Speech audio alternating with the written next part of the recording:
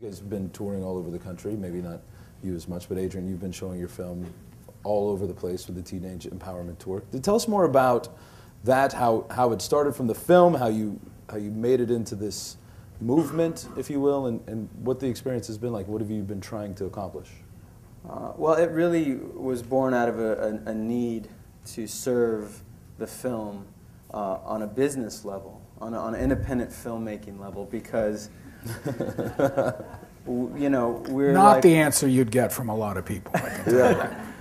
well, we're you know That's an honest answer, Yeah, really yeah, yeah, honest answer. well, I'll flip it. Don't worry. Oh, good.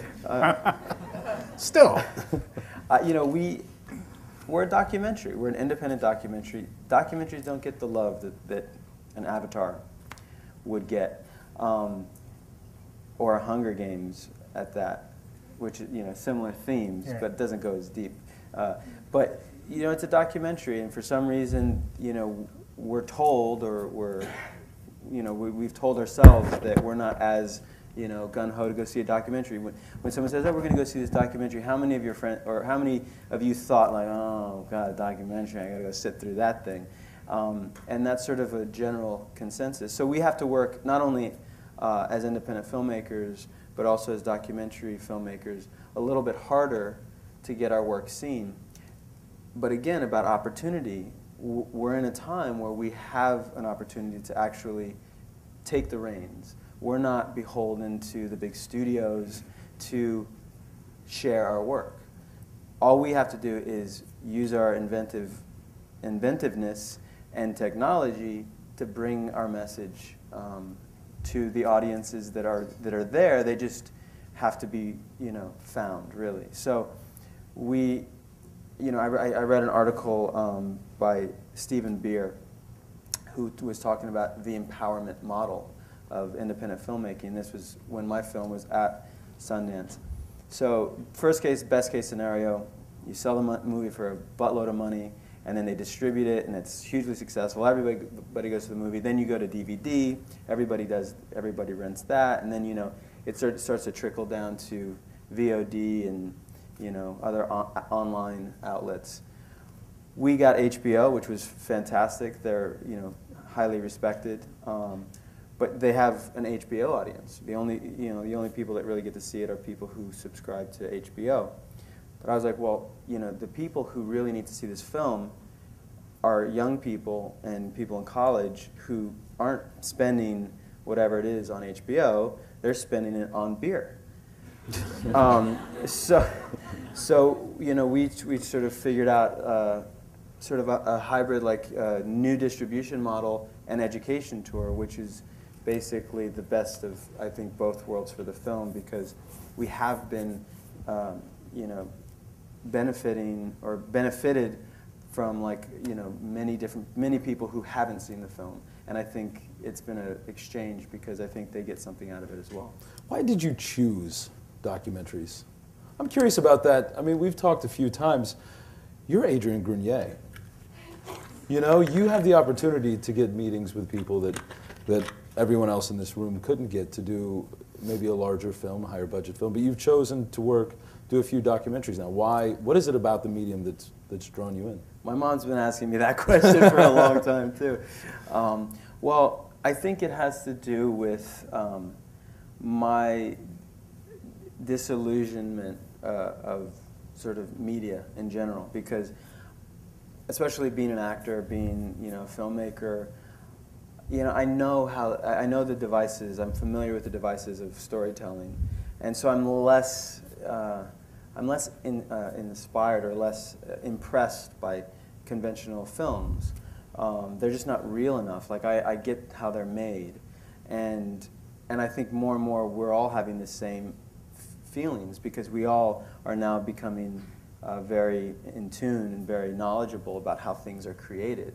So we're not as impressed, which is partly why. And, and you'll, you'll when you read Tom's book, you'll you, you know he talks all about this. Is you know so we we crave something more real, something that can like actually suspend our disbelief, and and that's why reality shows are coming about, and that's why there's this onrush of uh, tabloid because we want to see we don't want to see the illusion created by the PR machine or by the actor who wants you to see them in the best light.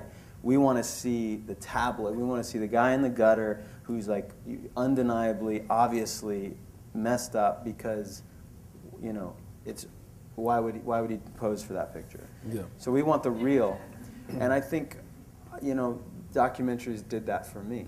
You know, they gave me something that I could act, that, that these are real people. This is something that actually is based in reality. Um, but then documentaries have a little bit more structure and a story, and uh, often, you know, sort of may, maybe more sophisticated ideas presented, as opposed to reality, which I think, you know, tends to fall flat personally. Now, do you find it, um, because there were a couple times in the film where I felt like, was, when you were talking to Austin's mom, you could have said the wrong thing, just one word with the wrong inflection. Suddenly she would have been like, nope, I don't want to do this anymore. You're, do you find it tough to find, as a documentary filmmaker, the balance in telling your story but also being respectful to the subjects? Well, it, it is in a lot of ways human politics. You know, you're dealing with real people, and you know you want to be sensitive, but you want to be honest, and you want to tell the real story, and and you're negotiating with their own sense of themselves and how they're going to be and what they're going to be portrayed as, but you want them to be natural and honest as well. Um, I don't know. I mean, I think it's partly from my experience as an actor. So, you know, I'm and also I'm I'm in I'm in them. So like. it's kind of like we're in this scene together. Yeah, that's a very important thing about this movie. It's uh, very unusual to have the person who's making it also expose themselves almost as much, and in a couple of cases, as just as much as anyone else in the movie. So he put himself in the position of being shown not always in the best light um, himself in the movie. He's talking about Uh, he- the beard. yeah, that's, but that's, I mean, think about it. I, I, I, I'm not sure, I, I'm not enough of a film historian to know, but I don't think that's ever been done before that I can think of. And if that's true, that's huge. cool. So, yeah, right, exactly. I, I, mean, I, I never put that spin on it before, but, but that's, you want to lead with that. That's Yeah, really good. Um, but I remember the scene where the mother, uh, you know, realizes that that um, that Austin is, you know, getting then getting into situations and somebody threatening threatening to beat him up, and she just gets you know concerned about it, and then finally Adrian ends up showing the movie to them, and that has all of that reflexivity where they see the movie, and then she begins to think, my God, I look like an idiot. But by that time, she's not going, I want out. She's going, I want to fix this Yeah. because she's so embedded in the movie. So I, I think he really, he really did uh, get them so involved in who they really are by showing them so candidly to themselves uh, that you know it's not something they could pull out of. There were, there's, there, Well, I, I really do have to give props to, to Austin's mom Yeah. uh, because she either instinctively or consciously, uh, you know, decided that this was going to be a good thing, and she recognized that. And it was through conversations we had, and she understood my intentions. Um, but she, she knew that there were certain things as a mother, and you know, there's a lot of arguments about whether or not she's too liberal or whatever. But I think on some level, she she knew as a mother, there's only so much she can impart on her son. Eventually, the the world is going to have an influence, and so for her to allow Austin to explore the world, but on some level still, you know, control at least that influence. And she, I think, trusted that, you know, what we were doing was going to have maybe get, get him to like sort of think about what he was doing a little bit more.